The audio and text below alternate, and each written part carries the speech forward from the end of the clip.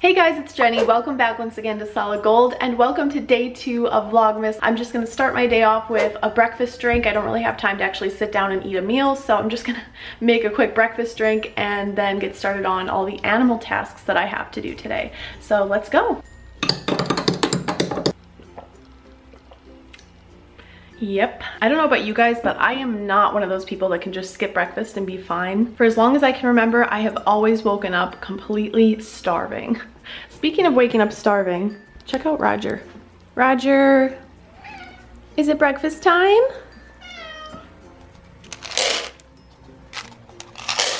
Look at how many more toys are in Grimm's bowl this morning. It's time to let Henry out and feed him too. Hi Henry, good morning. Oh my goodness, does he ever want to come out? Come on, little guy. Hi, good morning. Good morning.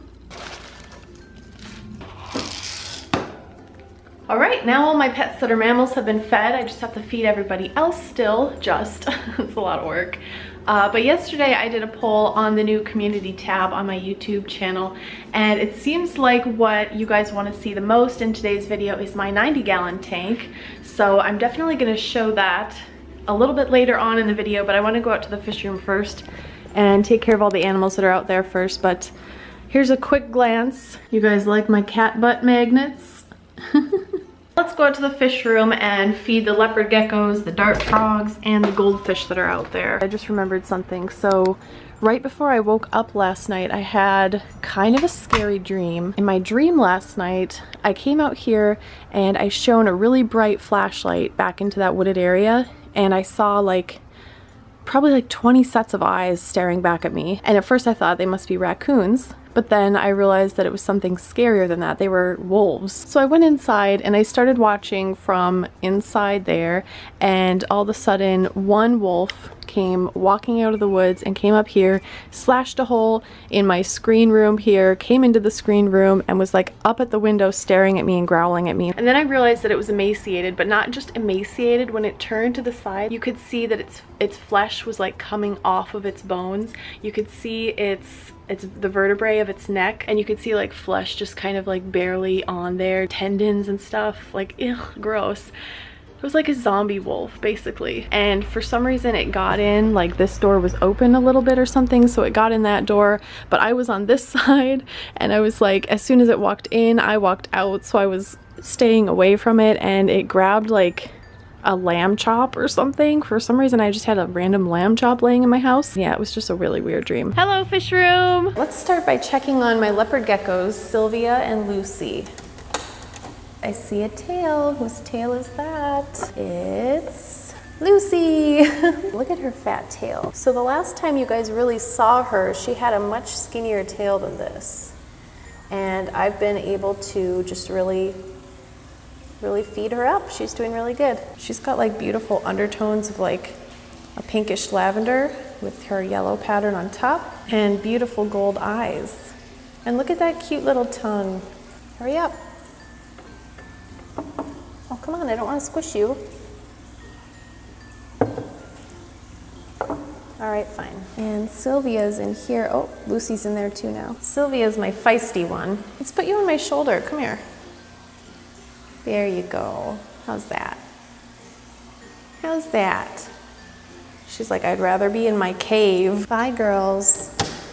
Let's actually go inside right now because I want to show you guys the rack of terrariums I'm getting from Custom Aquariums that is going to house my leopard geckos, my dart frogs, and maybe a chameleon in the future because I'm really excited about it and I want to show you guys the finalized plan. Hi Roger, you smell leopard gecko on me? This is the plan that I drew up for Unit 5. Unit 5 is my rack of terrariums. It's going to be a three level rack. So the cabinet with sliding doors on the bottom will allow me to have a lot of room underneath the tanks here to put some reservoirs for the misting system. The top two rows of tanks are going to be hooked up to a misting system, but the bottom row is not. The bottom row is just going to be two dry reptile tanks for leopard geckos.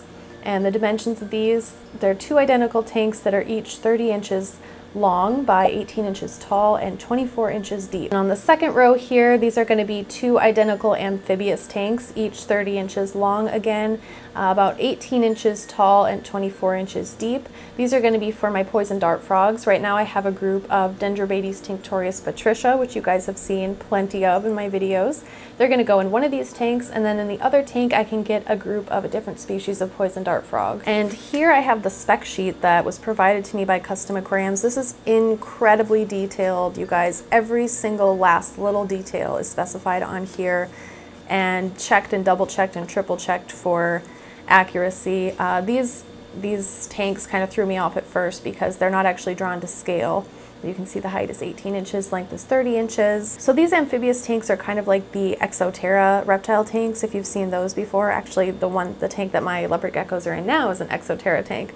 But the bottom of it holds water and the top of it has uh, sliding doors that you can open so you can actually access the aquarium from the front. And since they hold water on the bottom, you can you can make this water depth as, as deep as you want, by the way, too. Mine is only six inches. I only need enough space to accommodate a false bottom, so I can make sure the water drains properly in these frog tanks. But if you want, you can extend this depth really deep, just like the tank that I showed you guys in the lobby of Custom Aquariums. They had a huge amphibious tank there in the lobby. It had a pretty deep area of water with all kinds of fish and even turtles swimming around in there. And then the top had sliding doors where they had actually a chameleon living up there. And it was this really big, awesome, beautiful tank. So a lot of different things can be done with these amphibious tanks. I'm just using mine as dart frog tanks for the middle rack. Everything is specified. There's going to be a drain hole drilled in the back panel here. They're also drilling holes in the top glass for me. So this is the top glass panel and they're drilling holes uh, of a very specific diameter and a specific uh, placement on the top of the tank for me to hook up my automatic misting system. So everything is Everything is included on here. It's really awesome. And then you can see here up top, there's another row of amphibious tanks. And I made these ones quite a bit taller so I can have some more arboreal types of animals in here. So clearly I'm super excited for that rack of terrariums from Custom Aquariums to finally show up. But the first tanks that are gonna show up are two identical uh, racks uh, that each hold 200 120 gallon tanks, which are gonna be for my goldfish. And those ones should be showing up sometime mid-December, so this month. Really excited. All right, froggies, how are you guys doing today? I've had them for four months and they were somewhere between three and four months old when I got them already, so they're probably about eight months old now. And it's not until they reach, I think it was like 11 months old or so, that you can actually start telling the sexes apart. With this species of poison dart frog, the females can become really aggressive with one another. So as soon as I'm able to sex them, as soon as they get old enough that I can do that, I'm going to just probably keep one female and maybe even just one female and one male.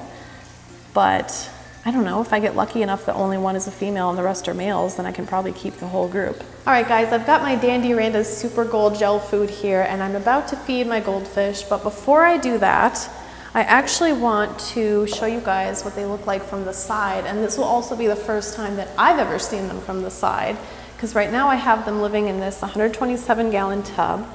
And you know it works perfectly fine they do really well in it but I kind of miss being able to see goldfish from the side. So I just have this like little two gallon tank set up and I'm gonna put each one in there one at a time so we can see for the first time together what they look like from the side. This is exciting. I'm gonna scoop you up, transfer her over. Oops, I spilled.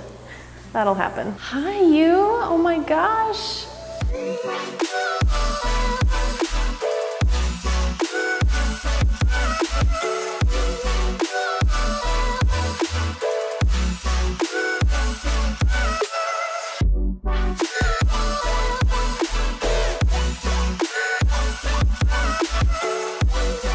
All right, I'm gonna put her back and get the other calico now.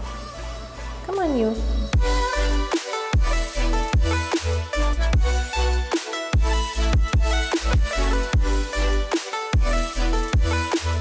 I pretty much love everything about the body shape of this one. I'm not even exaggerating. I really like that it has a nice compacted body. The other one had good eyes, really good eyes too, but I prefer the eyes of this one. The eyes are nice and small, they're really neat, and they're perfectly symmetrical. They're just awesome. All right, let's put you back. Come on, pretty. Probably wouldn't be fair to overlook the little guys now, would it? Here's the first one, the all red one. And here's the batik scaled one. Look at these little cuties. Oh my gosh, they're so fun. I just love them. You know what, let's actually feed them in there so we can watch them eating from side view too. That would be cute. I usually squeeze the gel cube in between my fingers a little bit just to break up the structure of the gel so they can actually bite off pieces a little bit easier. While those guys are eating, I'm gonna hand feed the big ones inside the tub. All right, who's gonna be first? Come and get it. There you go. Come here. Come on, there you go. You're so close. Nope, overshoot. You overshot. It's right. There you go. Finally got it. Hey, you want some more?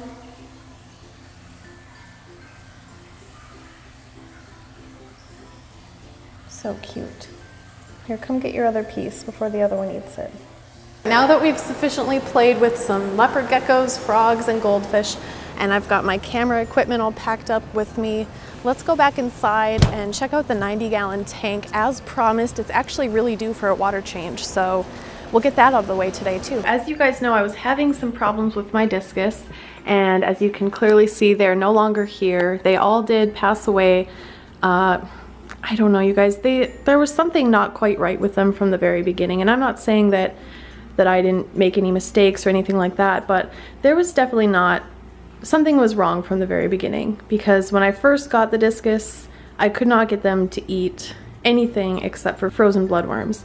They literally rejected everything. Even if I soaked it in garlic, they rejected it. They rejected flakes, frozen beef heart, pellets, gel food, this frozen food that's formulated specifically for discus. They would sometimes peck at brine shrimp, frozen brine shrimp, and they would usually reliably get excited about frozen bloodworms. Now unfortunately frozen bloodworms aren't really good for discus so it was a bit of a conundrum because that was literally the only thing that they would eat. Even if I withheld bloodworms for a while and tried to offer different foods they would never you know kind of get hungry enough to finally eat something else. They just would not no matter what I did. So I really just I'm not super happy about the experience that I had with my discus, but one good thing that I guess came out of it is now I've got this uh, 90 gallon tropical community tank going with my Black Phantom Tetras who are doing really well and my two longfin albino bristlenose plecos which you can't see right now because they're really good hiders but you can certainly see evidence of them because they are they are pretty messy fish. They do poop a lot. A note about the baby plecos too. So if you guys have been following some of my other videos, you'll know that my two adult plecos, I, I got them when they were, I think it was like how old were they? Like three months old when I got them. And since then they've grown and I've been able to tell that one is definitely male and one is definitely female. And they spawned twice already now. The first time I still had two discus in the tank, plus I had all these tetras. So even though I knew the male was going to try to keep the baby plecos in the breeding cave and keep them safe from the other fish, I knew that there was a pretty good chance that some of the other fish would come along and try to peck, pick them off, pick off the babies. So I moved the, the babies inside the breeding cave and the dad pleco into a separate tank to have them grow out in that tank. Once I moved him into the grow out tank with all the babies, he was fine at first, but then he kicked all of the, the babies that had just newly hatched out of the breeding cave. And then I woke up the next morning to find that they were all gone and the only thing that made sense is that he had eaten them all. So after that, I put the male back in here, put the breeding cave back in there, and just a few days later, they were back at it again. I saw them kind of scuffling around inside of the breeding cave and then a couple days later I saw that sure enough there was a new batch of eggs in there and at that point I decided I wasn't going to intervene at all with the second batch of eggs. I don't really want to produce more plecos. It's not really my goal here. I'm actually having to consider this tank as contaminated with whatever it was that killed off all of my goldfish that I used to have because I took media from the goldfish tanks, took cycled filter media from the goldfish tanks to jumpstart the filter of this tank. So I unfortunately have to consider this tank and all the fish in it to be contaminated and possible carriers of whatever it was that killed all of my goldfish. Even if these fish aren't you know, seeming to be affected by it, they could still be carriers and the water and the, the whole environment in the tank could still be contaminated and kind of a carrier of that problem. There's only so many plecos that a 90 gallon tank can hold. And if I have like tons of baby plecos being produced, I won't have anywhere to put them. So I'm not going to try to breed my plecos. I'm just going to uh, just have my two adult plecos. But anyways, they did breed a second time. I had some tiny little babies that ended up getting scattered around the tank and it looked like they were foraging for food and doing okay. But every day I looked for them and they were really good hiders too, so it was hard to tell. But every day I came back and looked for them. I counted fewer and fewer and finally there was, I couldn't find any more left. So probably what happened was the babies just couldn't find enough food in here or something like that. They just couldn't survive very well in this environment. So they're all gone now.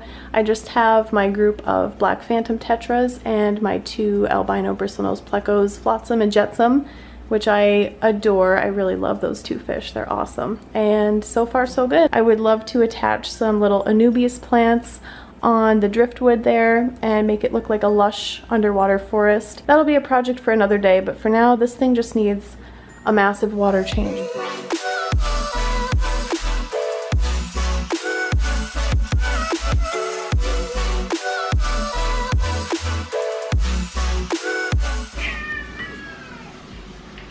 What do I have, Sammy?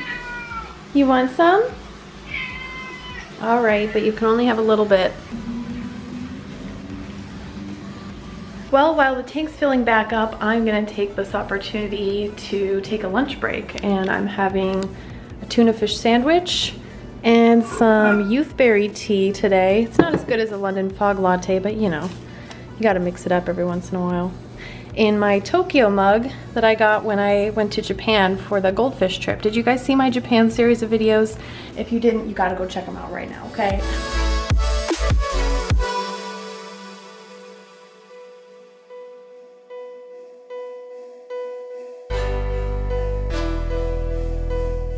The tank is almost full, so while it's just finishing filling up, I'm gonna feed the tetras some flakes, and I'm also gonna put this zucchini slice in the tank. Got this zucchini slice here on the clip already. This is a really cool magnetic clip. I, if I can find a link to where you guys can get one of these, I'll put it in the description below. So let's put the zucchini slice in there, and this is what the plecos eat. They also, of course, eat like algae and biofilm inside the aquarium, but you do need to supplement with a zucchini slice for them to eat as well. Let's feed the tetras here too. Come on, little guys.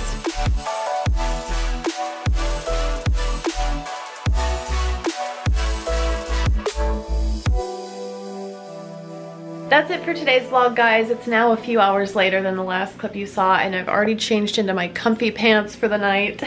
I thought originally that my order of 600 solid gold calendars was gonna get here today, but yesterday I got an updated tracking notification that they're actually getting here tomorrow. So we have to wait until Friday's video until I can show those to you guys and start sending them out to customers and stuff.